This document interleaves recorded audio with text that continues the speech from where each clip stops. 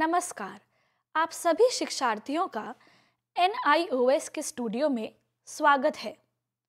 मेरा नाम सुरभि है और हमारा विषय है कला शिक्षा में मूल्यांकन। आइए इस पर थोड़ी चर्चा करते हैं। कला शिक्षा में मूल्यांकन विविध क्षेत्रों में बच्चों की प्रगति को पहचानने का आश्वासन देता है और उन क्षेत्रों को चिन्हित करता है जिनमें आगे अधिगम की आवश्यकता है। प्रारंभिक स्तर पर शिक्षक को श्रेष्ठ कौशलों और किसी कला रूप के ज्ञान पर केंद्रित करने की ज़रूरत नहीं है। बच्चों से आशा की जाती है कि वे अपनी क्षमता और सोच के अनुसार अपने को अभिव्यक्त करें। उन्हें कल्पना करने, अन्वेषण करने और प्रवर्तित करने की स्वतंत्रता दी जानी चाहिए और फिर अभिव्यक्त करना चाहिए। कोई भी मूल्यांकन को इस परिप्रेक्ष्य में देखता है। पहला, वैयक्तिक सृजनात्मकता। दूसरा, अभिव्यक्ति और अनुभूति, जो कि यह हमें संप्रेषित करता है। तीसरा, कला कार्य के पीछे बच्चों की दृढ़ता। चौथा, कि गतिविधि का उद्देश्य उसके लक्ष्य को प्राप्त कर चुका है। पांचवा, किस पैमाने से? अगला, क्या गतिविधि बच्चे की चिंतन में कोई अंतर ले आई? अगला, कला कार्य कैसे एक बच्चे की ज़रूरत को पूर्ण करती है? और आखिरी, वह कैसे कार्य की गुणवत्ता को सुधार सकता है?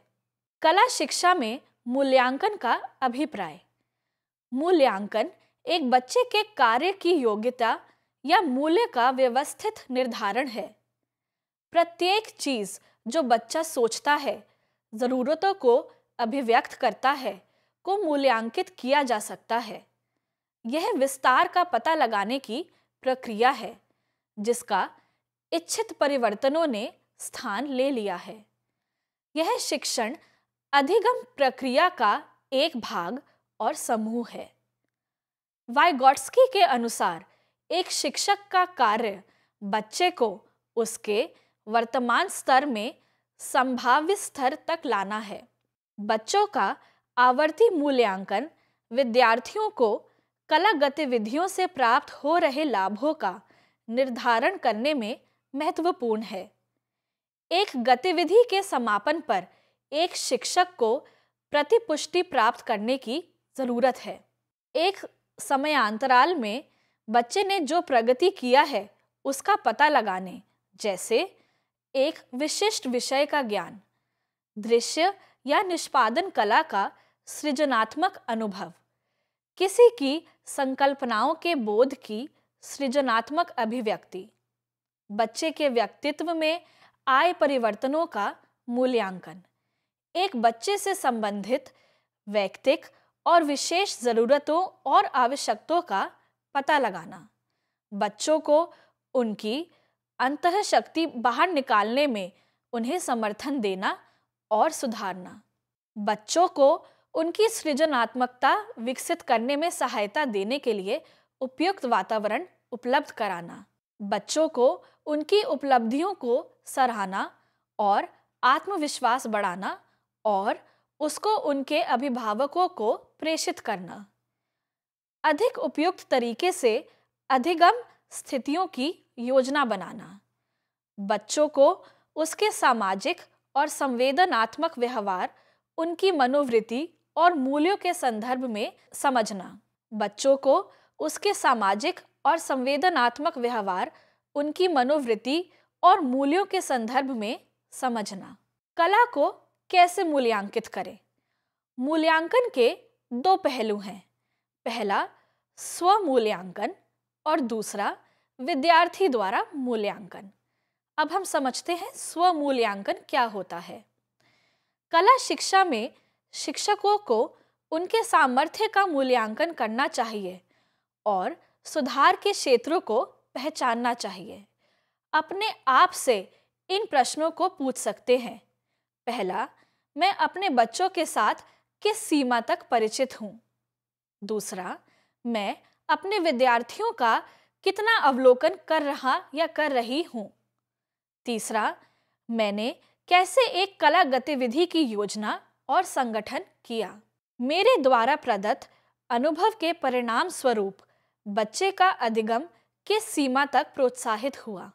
आखिरी, अधिगम और अन्वेषण के लिए मैंने कितने अवसरों को निर्मित किया? एक शिक्षक कार्यशालाओं सेमिनारों में शामिल होकर तथा अन्य बेहतर शिक्षकों के साथ दायरा विकसित कर अपने ज्ञान को बढ़ाने का प्रयास कर सकता है।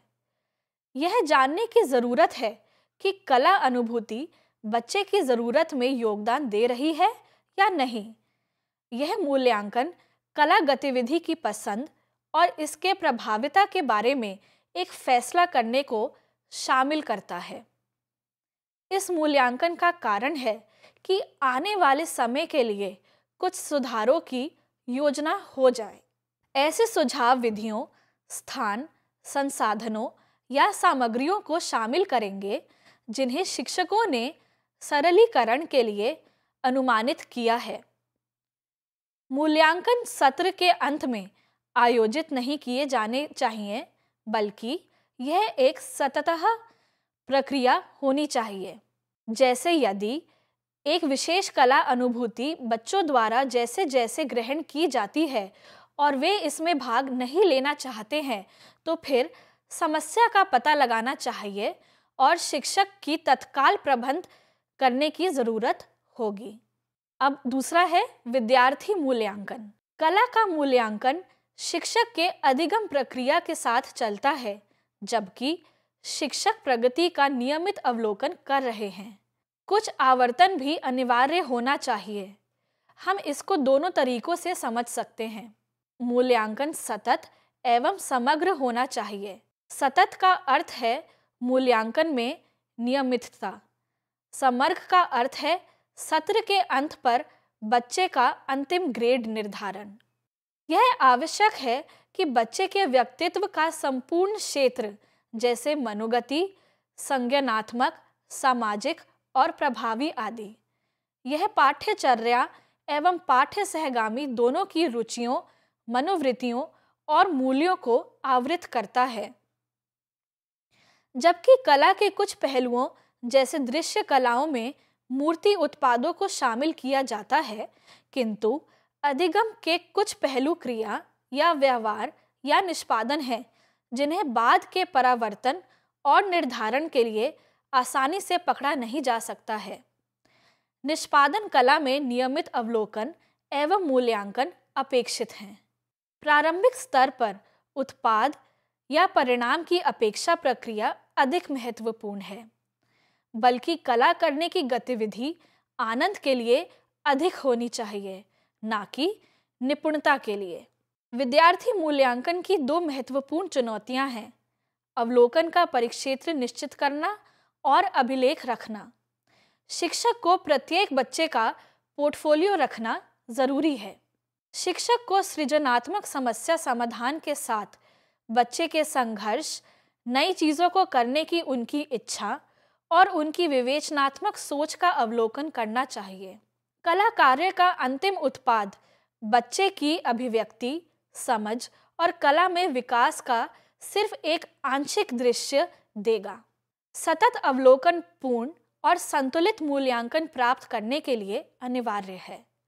उत्पाद या कला में निष्पादन का मूल्यांकन करते समय एक शिक्षक विस्तार को निश्चित कर सकता है कि विद्यार्थी अधिगम उद्देश्य वैयक्तिक कला कार्य, पोर्टफोलियो, दृश्य श्रव्य सामग्रियों या प्रदर्शन के अवलोकन द्वारा प्राप्त कर रहे हैं। शिक्षक को अपने विद्यार्थियों के साथ बहुधा अंतः क्रिया करनी चाहिए। केस अध्ययन। शिक्षक विद्यार्थियों के व्यवहारिक पक्ष को जानना चाहता था। वह एक कला गतिविधि में संगठित थी। इसका उद्देश्य कौशलों और कला के ज्ञान का निर्णय करना नहीं था, बल्कि भागीदारी, सहयोग विवेचनात्मक सोच उसके पैमाने थे। अतः उसने मूल्यांकित किया। पूर्णतया कला की प्रक्रिया और बच्चे की गतिविधि के प्रत्येक उपागम को अवलोकित किया। उसने बच्चों द्वारा उनके सहपाठियों के साथ संबंध को अवलोकित किया। बच्चे की कला के साथ कुछ समय दें। कला का मूल्यांकन करते समय क्या याद रखना चाहिए? अब इस पे चर्चा करते हैं। पहला उत्सुकता दिखाएँ और पूछें कि वे कल गतिविधि के समय क्या अनुभव करते हैं। एक बच्चे की दूसरे से तुलना ना करें। यह बच्चे की व्यक्तिगत प्रगति का मूल्यांकन है।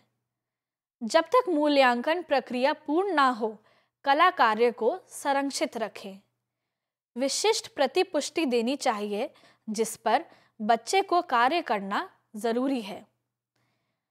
कहने से पहले सोचें आपकी टिप्पणी बौद्धिक, लाभदायक और बच्चे की बेहतरी के लिए होनी चाहिए। निष्कर्ष पर तुरंत ना पहुँचे। शिक्षक द्वारा दी गई प्रतिपुष्टि सुस्पष्ट होनी ज़रूरी है ताकि बच्चा स्पष्टता से समझ ले।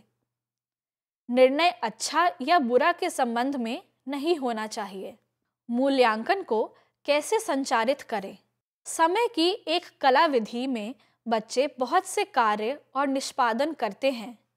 यदि शिक्षक सभी गतिविधियों की सूचना, साक्ष्य और अभिलेख एक उचित तरीके से रखते हैं तो वे समय समय पर बच्चा और उसके अभिभावक को प्रतिपुष्टि संप्रेषित कर सकते हैं।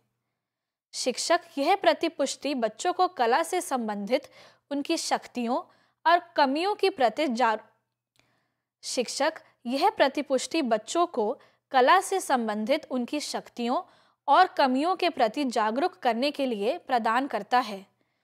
कौन सा अंग है जिस पर उन्हें भविष्य में कार्य करना ज़रूरी है?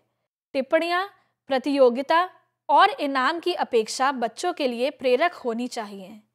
इसे गुणात्मक तरीके से रिपोर्ट कार्ड में संचारित करना बेहतर होगा। सामान्य एवं सुबोध कथनों में सामान्य एवं सुबोध कथनों से युक्त एक परावर्तन कार्ड हो सकता है, जिसमें शिक्षक का अवलोकन दिया गया हो सकता है। इस स्तर पर मूल्यांकन नमनीय होना चाहिए और बच्चों को मूल्यों को अवश्य अनुभव करना चाहिए, क्योंकि वे अच्छी तरह सीखते हैं जब उनकी आलोचना ना हो, जबकि उन क्षेत्रों जिनमें उनके ध्यान और सुधार की ज़रूरत है कि बच्चों को उपयुक्त समझ के लिए प्रतिपुष्टि का यथार्थ होना ज़रूरी है। प्रत्येक तीन से चार महीने में विद्यालय के अंदर एक छोटी प्रदर्शनी का आयोजन करना प्रतिपुष्टि को संचारित करने का एक दूसरा तरीका है, जहाँ बच्चों के दृश्य कला कार्यों को दूसरे बच्चों और अभिभावकों के लिए प्रदर्शित किया जा सके। बच्चों के लाभ के लिए कुछ सांस्कृतिक निष्पादन भी किए जा सकते हैं। अभिलेखों के लिए सहपाठी मूल्यांकन के माध्यम से शिक्षक को सूचना एकत्र करना चाहिए और बाद में यह वार्षिक रिपोर्ट कार्ड में लाभदायक भी हो सकता है। एक शिक्षक मूल्यांकन को कैसे एक बच्चे को संचारित करता है? अब कुछ उदाहरण देखते हैं।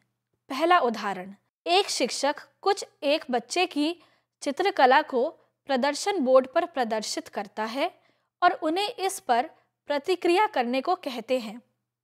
वह कुछ प्रश्न पूछते हैं। किस चित्रकला को आपने सबसे अधिक पसंद किया? आप इसे क्यों पसंद करते हैं? क्या आप सोचते हैं कि यह एक बेहतर तरीके से व्यक्त हो सकता है? आप तस्वीर के बारे में सबसे मोहक क्या पाते हैं? उपयुक्त जवाबों के आधार पर शिक्षक एक बच्चे के स्व मूल्यांकन का लाभ पाते हैं दूसरा उदाहरण, एक बार एक शिक्षक ने सहपाठी मूल्यांकन का लाभ पाना चाहा। उसने बच्चों को पत्तियों की सहायता से जानवरों की आकृतियाँ बनाने का एक अवसर दिया फिर सभी कार्य को एक दीवार पर प्रदर्शित किया और बच्चों को विचार विमर्श और टिप्पणी करने का कुछ समय प्रदान किया। बच्चे ऐसे ही अपने कार्य को देखने के लिए उत्साहित थे। उन्होंने दूसरों के साथ उनके कार्यों का तुलना की और आसानी से मूल्यांकित किया तथा स्वस्थ तरीके से दूसरे के कार्य को स्वीकार कर लिया। तो आज हमने चर्चा करी कला के मूल्यांकन पर स्व मूल्यांकन और विद्यार्थी द्वारा मूल्यांकन। आशा है। इस चर्चा में की गई बातों को आपने अच्छे से समझा होगा। अब हम आपसे मिलेंगे किसी अन्य विषय के साथ अगले सत्र पर। धन्यवाद।